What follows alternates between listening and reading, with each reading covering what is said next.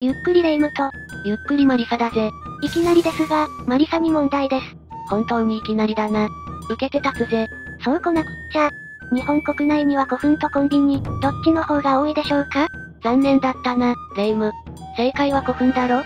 なんだマリサ、知ってたのね。この間、古墳に行った時にコンビニより多いって聞いてびっくりしたのよ。日本各地、至る所にあるからな。コンビニはないけど古墳はある地域は珍しくないぜ。どんな古墳でも歴史を紐解く上で重要な役割を果たしているが、江戸時代から物議を醸しているとある論争に大きな関わりがある古墳もあるんだ。江戸時代からって長すぎない？そんな複雑な論争って一体何？それは邪馬台国論争だ。直近で新たな考察が発表されたんだ。今回は、牧向は、神聖和国の首都、という考察について、解説していくぜ。それではゆっくりしていってね。そもそも邪馬台国は何かということから説明するぜ。邪馬台国は、2世紀から3世紀にかけて日本にあった国の一つと言われている。国の一つってことは、他にも国があったってこと？その通り。当時は複数の国から成り立っていて、各国ごとに王がいたんだ。当時の中国周辺諸国は、日本にあった複数の国を和国連合と呼んでいた。邪馬台国は、和国の首都だったと言われており、卑弥呼は和国連合の長でもあった。たくさんの国をまとめていたのね。和国連合の長はずっと女王だったの？和国の王はもともと男性が務めていたようだが、和国大乱と言われる長期の騒乱が起きたんだ。その騒乱をやめるべく、王に擁立されたのが卑弥呼だったと言われているぜ。卑弥呼が和国連合の女王となってからは、騒乱はやみ、国が安定したようだ。なるほど。卑弥呼が特殊だったのね。確か、占いが得意じゃなかったっけ？人を、占いに長けていたと言われており、その能力を政治に活かしていたようだな。卑弥呼には弟がいたんだが、弟にしか姿を見せなかったと言われているんだ。民衆の前には弟が出て、卑弥呼の指示を受け、政治を行う形だったようだ。ふん。本当に特殊な形の収め方だった。人前には出ずとも、優れた外交センスで当時の中国義に施設を送り、真偽は王の称号を得るなど、やることはやっているけどな。外交までちゃんとやるとは、抜かりないわね。中国の歴史書義士は神殿に記録が残っているから、外交をした事実は確実だな。邪馬台国が存在していたことは確定ね。色々とはっきりしていることが多い印象だから、さっき言っていた論争なんて起きそうにないけど。本当か？今までの解説で触れていない部分があるんだけどな。え、本当に？ダメだ、思いつかないわ。邪馬台国の所在地については、一言も言ってないぜ。うわぁ、そうだね場所のことは一言も聞いていないわ。ってことは、邪馬台国論争は所在地について議論が繰り返されているわけね。簡単に言うと、そういうことだ。でも、義士は神殿という記録があるのに、どうして場所がはっきりしないの？それこそ、義士は神殿に問題があるんだ。記録には中国大陸から邪馬台国に行くまでの工程が書かれているが、距離と方向が曖昧に書かれているため、記載内容に沿って地図上に場所を示すと、邪馬台国が海の上に存在したかのように算出できてしまった。キャー記録があるがゆえの問題ね。邪馬台国の所在地についての研究が始まり、そして言及されるようになったのは、江戸時代、儒学者の荒井白石が機内説、元織宣長が九州説を唱えたことを皮切りに、約300年間、所在地をめぐっての議論をしてきた。江戸時代が始まりなんだ想像より早い時代から研究されているのね。それでも解決しないところに歴史を紐解くことの難しさを感じるわね。ああ。長年、邪馬台国の研究をしている牧向学研究センターの寺沢薫所長は、義士は神殿などの文献のみを手がかりにして、所在地を明らかにするには限界があると指摘したぜ。ふむふむ。でも、文献以外でどうやって研究を進めるの？記録の整合性を取るために、最も手っ取り早いのは証拠があることだ。古代の歴史を語る上で外せない重要な参考資料である古墳を使うってことだな。寺沢所長は、考古学の成果を活用しながら当時の政治状況を把握し、文献との整合性を一つ一つ検証していく必要があると語っているぜ。ここで古墳の出番か証拠となるものが出土されるのが一番確実だもんね。だな。先ほど卑弥呼が女王となるきっかけとなった和国大乱についても、どういった状況だったのかが遺跡を調べることで見えてきたんだ。2世紀頃、日本と交流のあった中国の五感では、外石と宦官による政治介入により、実権を握る者が安定せず、どんどん衰退していった。五感と結びつきが強かった和国連合の一つ、糸国は、後ろ盾を失うこととなってしまった。ほう。後漢が衰退した影響が日本にも出たのね。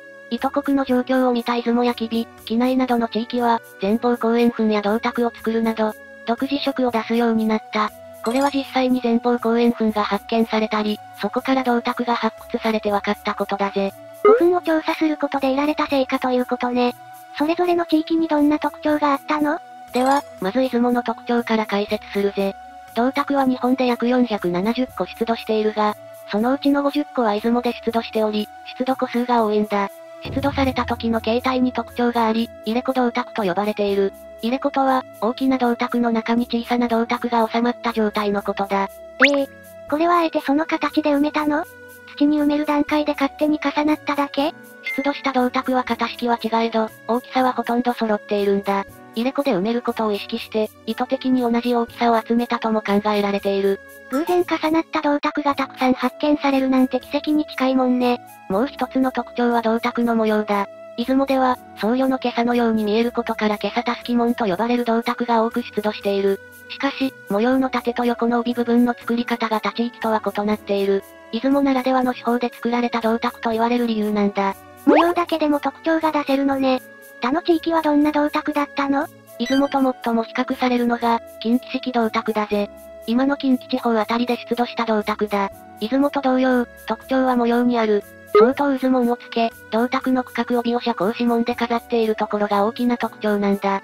こう考えると、模様で各地域の特色を出していたということね。また、銅鐸自体の大きさがどんどん大きくなっていったという特徴もある。大きさや模様の独自性を出すことで、意図国へ対抗していったんだろうな。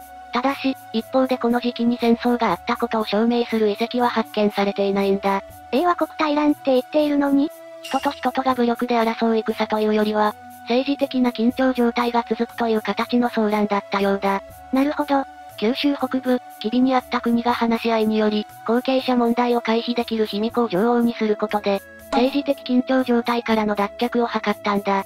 流れは理解したんだけど、卑弥呼が女王になった後も後継者問題は発生すると思うんだけど、そこまでは考えなかったの？和国大乱という緊張の中では、平穏な状態をなるべく早く作ることが先決だったんだろうな。いつ、何が起きるかわからない緊張状態で先のことを見越すのは難しいわよね。確かにな。ただ、霊夢の予想通り、卑弥呼の死後には再び政治的に不安定な状態になったぜ。歴史は繰り返すわね。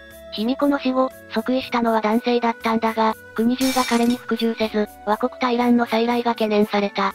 なんとか阻止しようと考えた対策が、再び女王を擁立することだったぜ。わずか13歳だった豊という少女が女王となり、国を安定させたんだ。ほう13歳で女王なんて、私だったら無理。でも、無事に安定してよかったわね。それだけ卑弥呼の力が偉大だったとも言えるけどな。文献と考古学の知見を合わせると、より史実に近いものが見えてくることが分かっただろう？そうね。文献も曖昧なところがあるし、物は嘘をつかないってことを実感したわ。考古学と照らし合わせる重要性が分かったところで、新たな考察結果についても解説していくぜ。邪馬台国の所在地をめぐって、長年にわたり議論が重ねられてきたわけだが、卑弥呼がいた場所がわかれば、必然的に邪馬台国の場所もわかるってことだ。女王のいた場所だものね。でも、卑弥呼がいた場所なんてわかるの？近年の研究で卑弥呼の墓なのではないか？と言われている古墳があるんだ。それが橋墓古墳だ。奈良県桜井市にある牧向遺跡の中にある。牧向遺跡は、3世紀の後半に計画的に建設された都市の遺跡なんだ。ええー、その中に卑弥呼の墓かもしれない古墳があるなんて、計画的に建設されたって言っていたけど、なんでそうわかったの？人々が生活しやすいように考えて建設された証拠があるんだ。例えば、運河の建設だ。大阪湾から大和川を遡って、荷物を積んだ船が通れるよう整備された。都市の内部にも運河を張り巡らし、物の運搬がしやすいよう建設されていたぜ。すっごい生活しやすいじゃないちゃんと計画された都市づくりね。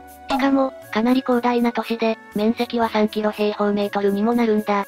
実は、当時の奈良県での社会を考えると、本来は成立しないような都市と言われている。そうなの？近畿式銅鐸を作ったりしていたから、文化としては発展しているかと思っていたわ。牧向遺跡が作られたと言われているのは、弥生時代後半。それまでに奈良盆地では、豪華な応募は作られていないんだ。だが、牧向遺跡には橋墓古墳と、それ以外にも、牧向型前方後円墳と呼ばれる古墳が5つ存在している。牧向遺跡の中だけでそんなに古墳があるんだ。ああ。牧向型前方後円墳は、橋墓古墳よりも前に作られたとされているんだ。5つのうち、最も大きいのは牧向石塚古墳。長さが90メートル程度の前方後円墳だ。90メートル？十分大きく感じるけどね。その後作られた橋墓古墳と比べると、全然違うぜ。橋墓古墳は長さ280メートルもあるんだ。うわ、本当だ格が違ったわ。全国の古墳の中でも長さは11位とかなり大きい古墳だ。大規模な前方後円墳の基準ともなり、以降350年にわたって、長さ200メートル以上の古墳が大王が眠る古墳の基準となったんだ。橋墓古墳は、古墳の歴史の中でも重要な役割を持つ古墳なのね。でも、巻向遺跡が大きな都市で、橋墓古墳はその後の古墳の基準となったのは分かったけど、卑弥呼の墓であるかは何とも言えなくない橋墓古墳から出土した土器を炭素14年代法で調査したところ、橋墓古墳は西暦240-260年頃に作られたとされたんだ。対して、卑弥呼が亡くなったと言われているのは248年頃。ちょうど年代が合うんだ。なるほど。炭素14年代法で調べると、作られた年代までわかるのね。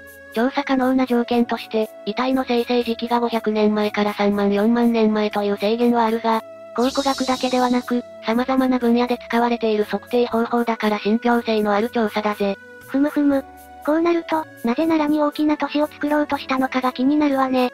それが今回の寺沢所長の考察結果になるな。和国再編を目的に九州北部や吉備にあった国が、巻向くを新たな首都としたと考察している。また、それが大和王権成立につながったとも考えているようだ。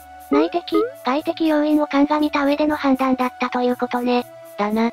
今回の寺沢所長の発表を踏まえると、長年行われてきた文献の調査と、考古学の研究を融合させていくことで、謎がはっきりしていく可能性はあるだろうな。古代史のロマンが詰まっているテーマだから、今後の研究結果も楽しみに待ちたいわね。今回は、巻向は荒尾岩国の首都という考察について、解説したぜ。邪馬台国の場所がはっきりしないってことは知っていたけど、今の研究でどんな考察がされているのか分かって、今後の研究結果がより楽しみになったわ。長年議論されてきた邪馬台国論争の終止符がいつ打たれるのか、楽しみに待とうぜ。それでは、本日もご視聴ありがとうございました。